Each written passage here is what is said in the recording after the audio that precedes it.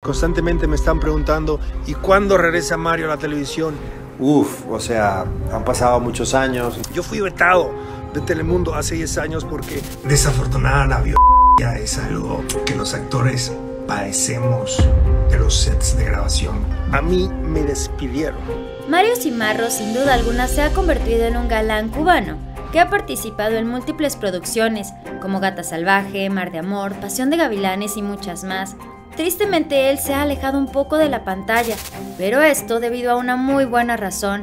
Mario Antonio Cimarro Paz nació en La Habana, Cuba, el 1 de junio de 1971, conocido por su actuación en telenovelas como Gata Salvaje, Pasión de Gavilanes y El Cuerpo del Deseo.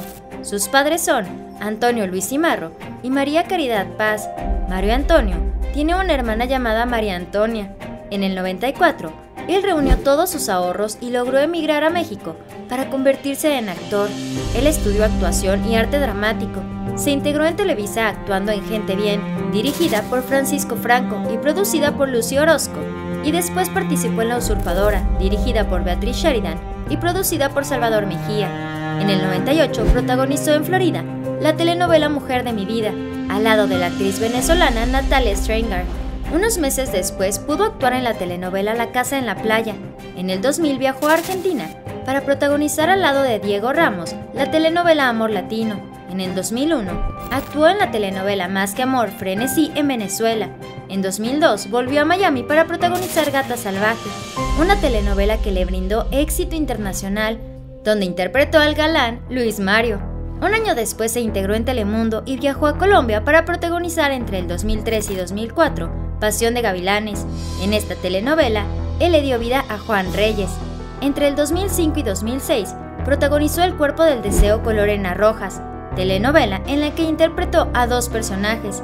Después de esto, Mario tuvo varios proyectos, casi cada año, como Mar de Amor, Los Herederos del Monte, Vuelve Temprano, Baila conmigo Paraguay, y no fue hasta el 2021-2022 que él estuvo 18 años después en Pasión de Gavilanes 2. En el 98, cuando conoció a Natalia en la telenovela La mujer de mi vida, los dos se enamoraron, se casaron en el 99 y se divorciaron en 2006. Hubo un tiempo que el actor estuvo completamente alejado de la pantalla, ya que al parecer estaba pasando por una situación muy difícil en su salud. A través de una entrevista incluso comentó que estuvo en terapia intensiva y que gracias a esto surgió como una nueva versión de él. Según se dice, tanto Mario como su equipo decidieron mantener esta noticia de manera muy privada, pero lo que sí se hizo tendencia fue que en 2019 Mario Cimarro señaló a Telemundo de maquinar una cadena de desprestigio en su contra, la misma que desencadenó en un largo veto de las televisoras latinoamericanas.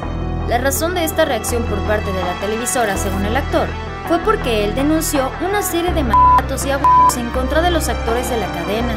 Afortunadamente la vida de Mario tuvo un cambio positivo. Él ha estado muy tranquilo con su hija Brianna y aún se mantiene activo de vez en cuando en redes sociales. Esto fue Famosos de Cerca. Dale like a este video, suscríbete a nuestro canal de YouTube y síguenos en Facebook. Recuerda que puedes ver todos nuestros videos. Espero que tengas un hermosísimo día. Nos vemos muy pronto. Bye.